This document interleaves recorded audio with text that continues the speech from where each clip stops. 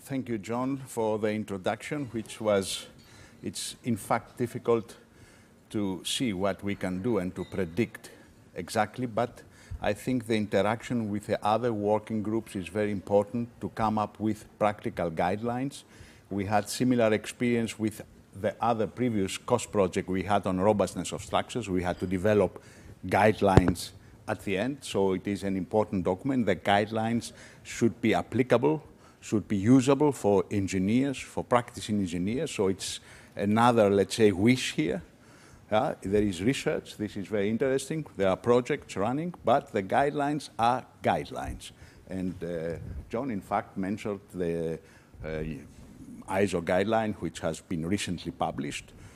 And I would like to mention also some other guidelines here.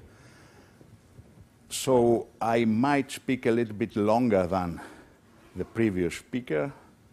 If you don't like me, you might say yes and stop me. However, I will continue for, to the second slide. Uh, the outline of the presentation, we have also with my colleagues here, I have forgot, of course, to mention my two co-authors. They are from Prague. The one is here, the other is probably in Prague. Milan Holicky from Klokner Institute and uh, Mirek Sykora from, also from Klokner Institute. He is here, sitting in the second row. And uh, well, we are cooperating with uh, the university, uh, Technical University in Prague, and we thought we will prepare something together. We have put also these ideas and these reflections and this experience in eight, nine pages, and we will deliver this, public, this uh, let's say, this uh, document to the working group leader.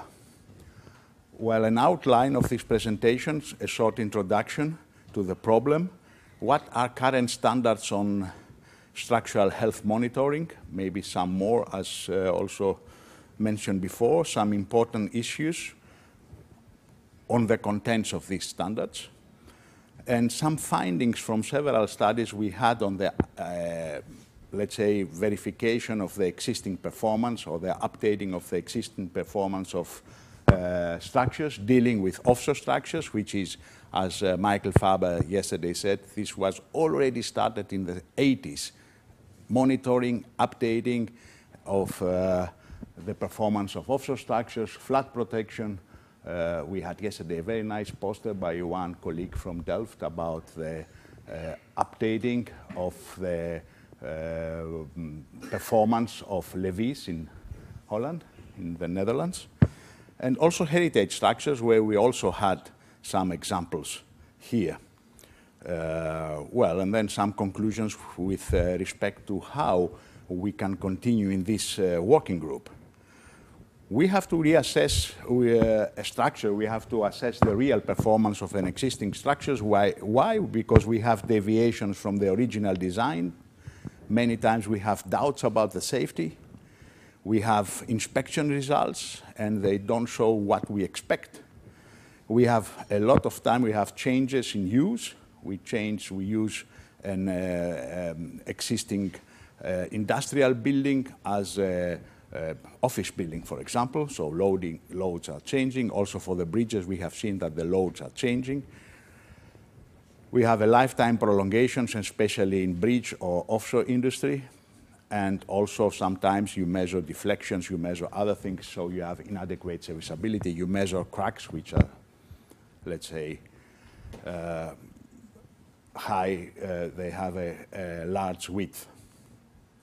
The typical question is what type of inspections are necessary in this occasion, uh, what type of measurements shall be taken, and uh, what analyses shall be performed. So we should also deal with these problems in the guidelines. And what, of course, one last question which might be also dealt with is what is the future risk in using the, the structure and is this risk acceptable or not? Is this reliability acceptable or not? Is this risk, if we do risk-based, probably, uh, criteria, is it ac acceptable or not?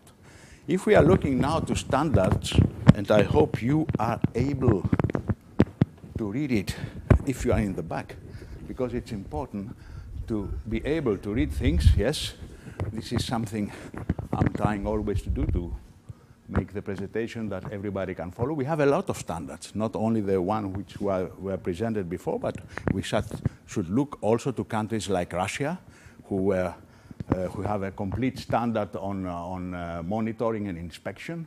We can use, of course, the several ISO standards which are related to existing structures, to monitoring and so on. This is a good basis. We have a Canadian structure uh, uh, standard on uh, structural health monitoring, dealing with various points. And uh, also we have uh, an Austrian uh, FOS standard. For example, we have also the association SAMCO, which has a document on existing structures very similar to the uh, JCSS document and a guideline on health monitoring, very useful documents, which will help us uh, looking at the contents to look what it is important, how uh, can we produce a practical guideline in this framework. Also, of course, using the interaction with the other groups. The covered issues are first, which is important, uh, is a classification of the monitoring. We can have a short monitoring, as it was mentioned before, or spot monitoring. We have see seen that in examples, some uh, load testing, some resistance testing. We have periodic monitoring. You uh, monitor, for example, offshore structures during uh, hurricanes in the Gulf of Mexico. You have also permanent monitoring. And then uh, other covered issues which might, are of importance, at least in these documents, which we have classified as important based on our short review, which we have to extend, is the sensor classification, performance of tests, uh, uh, treatment of data, very important data. We have a lot of data during the design phase for some structures during the transportation phase and also, of course, the operation phase. Uh, damage identification is written in inspection, optimal inspection planning, aspects on inspection planning. These are issues I think, at least we think, we should deal with in our guidelines. Um, if you look to documents, oh, we all know that we have classification of structures based on consequence classes. This is not only in the Eurocode, this is in other codes and also in the uh, German standard uh, of uh, the Association of Engineers, VDI is called. It's similar to the Eurocode, but what it is interesting, according to the classification, you have three consequence classes, everybody knows that, CC1 to CC3, but they have also a classification of what type inspection should be done based on what class of structures or on what consequence class you have. So you have a simple visual check where you go and check the structures. You have an inspection by an engineer, and you may have a verification by an expert. And you see here the time intervals, of course, they are smaller, shorter. If you have an important structure, a CC3 structure, a high-rise building or a very important bridge. And uh, these are uh, typical elements uh, in uh, such guidelines with respect to monitoring, as we mentioned before. Our industrial experience here with my colleagues in Prax, they cover uh, um, many cases. I'm also not very young. Uh, I was here in my first uh, research fellowship uh, in this university in the year 81, and uh, I was working with uh, Madsen and Ditlevsen. So you may understand that some experience uh, in various types of structures has been accumulated, offshore structures, bridges, with different types of, uh, let's say, uh, actions like waves, wind fatigue for offshore structures, fatigue in bridges, flood and earthquake for dams, heritage structures, live load, wind load, tunnels fire because you can have also detection of, uh, you can have uh, monitoring of detection systems in tunnels or also of the resistance of uh, fiber reinforced shotcrete. Uh, buildings, live load, snow load, and earthquake. We have uh, seen many examples in, in previous speakers' speeches. I would like to present very shortly some of two, three typical of them. Fatigue, uh, steel, uh, steel jacket structures is, is a typical uh, type of structures, offshore structure with different yardsticks like fatigue, corrosion, marine growth, scour, stiffness against impact and air gap. Uh, we have data from the design phase to the installation phase to the operation phase. So the organization of all this data together with the monitoring data is important because if you see at the data management, you have the design phase data, the field data, the geotechnical data, you have the uh, structural model, the geometry data, you have the drawings, then you have the installation phase for offshore structures, also important because you might get damages there which can propagate during the operation phase and the situation can become worse. You have the operation phase where you have modifications, you have uh, monitoring of displacement stresses, you have environmental monitoring of the data, you have cathodic protection data and so on. So there is a lot of data and the management of this data at least should be reflected in such guidelines. At the end, what the engineer, of course, has to take some responsibility. So uh, we are reflecting industrial cases where, as an engineer, you have to take responsibility. You have to tell to the owner of the platform, it can be Shell, it can be Agip, but they want to see when should I do what type of inspection, and of course, some, let's say, results like redistribution and reduction of deck loads if necessary, periodical cleaning of the marine growth, which is changing the dynamic behavior of the structure, extensive long-term inspection planning, and in what time intervals, or inspection campaigns on critical nodes, which are the critical nodes where we have do extensive inspection at reduced time intervals. Of course, another problem is that we, as I said before when I asked uh, this young lady, we, we monitor, we, you have 50 platforms, so you cannot do extensive inspection on 50 platforms. You select two, three typical, which are, and then you have to uh, uh, extract the result, do correlation analysis to other platforms. So this is also another question if we should deal with that problem. In Bavaria, we had also snow loading, as you said, in, on roofs yesterday. Very interesting. On the Stadia in Bavaria, we had roofs which have failed. And uh, not only the snow height is important, but also the snow load. So our sim simple monitoring system is this so-called snow load pillow. You can see, you can uh, measure, it's 1.4 meters, so you can measure the weight of the snow load. Flood, it's also important. Uh, there is uh, coming the cooperation with Prague. You see here we had in Prague the highest flood in the Vltava River in the year 2002, in 200 years. Collapses of buildings based on flooding and, uh, let's say, failure of the foundation. Considerable damage. So we see environmental monitoring of environmental actions, modeling of these environmental actions. Uh, here the extreme event, so we have continuous monitoring, not exactly of the uh, resistance of the structure, of the health of the structure, but of environmental parameters which influence the, the, the, health of the structure, which is also a very important aspect to be dealt with in a clear, uh, let's say, in a clear situation. And you can see here what measures also in Regensburg, in the city where we have the Danube River, we had similar floodings, and uh, also similar levee constructions as they have been presented yesterday for uh, the Netherlands. A last example, just to show you a very simple thing, we have a here a heritage structure where the critical structural member is an iron, iron truss girder, an older truss girder.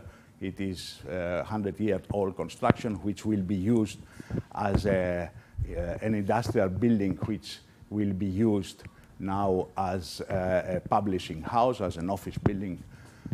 And the case studies has shown the development of the probabilistic model for the iron strength. It's a so-called uh, monitoring of the static strength according to the classification in the guidelines I mentioned before. And also the satisfactory past performance is also a criterion to update reliability. Here you can see the updating, very simple one of the steel strength and the 5% fractile value.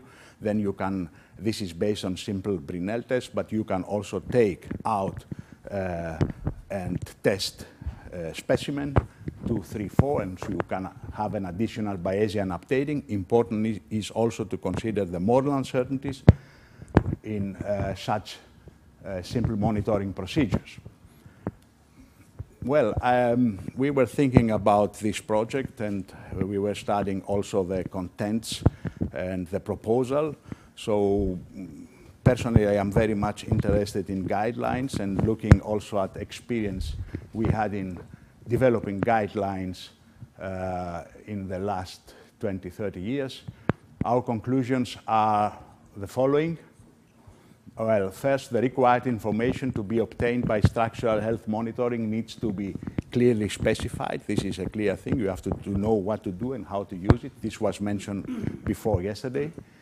Sometimes uh, um, the present standardized approaches, they provide limited sufficient guidance for planning the structural health monitoring, and they need, they are different if you, if you uh, let's say, uh, study the ISO document, the Canadian document, the Russian document, and the German document, they show they are not very harmonized. We have to also, the experience from these cases have shown that the structural reliability with respect to ultimate limit states in some cases uh, they are not improved by looking at cracks, for example, or at other type of structural damage. And one other aspect which has been dealt with, uh, which must be dealt with, is also the global performance of the structure. We had some interesting presentations with respect to system reliability of uh, uh, platforms and so on. So we have to deal that also when you do the monitoring, what kind of parameters are you actually measuring and how do they uh, influence the global behavior of the structure, especially with respect to earthquake. Further conclusions, further improvements should be uh, primarily be focused on uh, use of uh, H, uh, uh, SHM results to assess similar but not monitor structures. We have a group of structures. They are similar. We don't have money to inspect or to monitoring all of them. We're monitoring three representative, and we use models to uh, get conclusions for the rest of the structures. Also focusing on identifying value of updating of real performance as a basis for a future cost optimal maintenance plans is important. Developing of operational me methods for updating procedures and also this could be also maybe connected to the new uh, ISO norm, which Jon mentioned before, with respect to risk, reliability, acceptance criteria, or use of new verification, partial safety factors we will see.